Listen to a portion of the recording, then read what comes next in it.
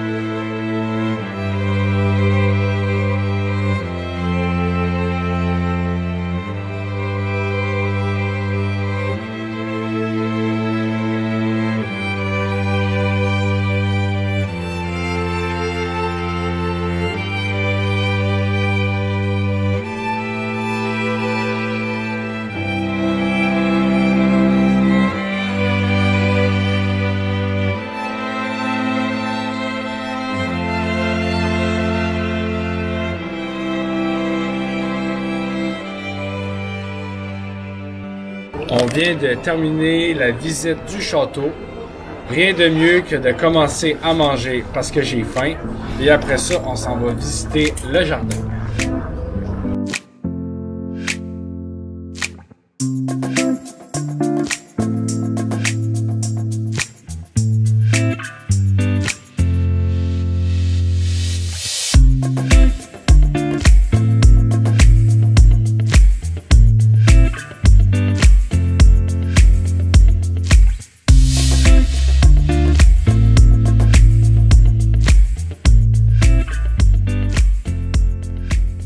Alors, où est-ce qu'on est, Maud, et où est-ce qu'on s'en va? On se trouve présentement euh, dans les jardins du palais de Versailles. Là, on est au tout début. Et on va faire en fait tout le tour. On va faire un grand cercle pour visiter les fontaines qui sont maintenant en service avec de la musique, si jamais vous entendez. Et ensuite, on va marcher jusqu'au grand et petit domaine qui se trouve de l'autre côté, euh, complètement des jardins de Versailles.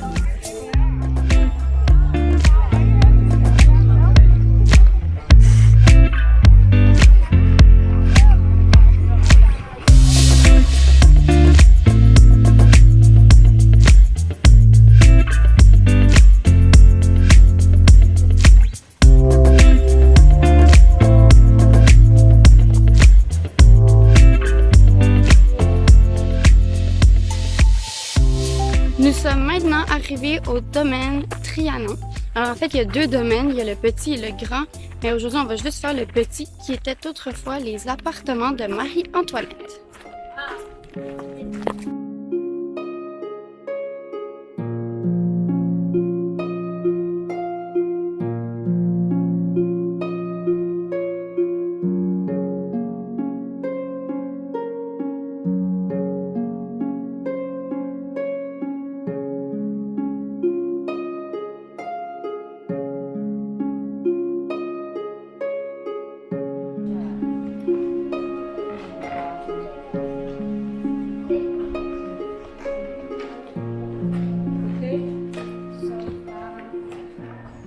Puis, Maud, comment tu trouves les températures?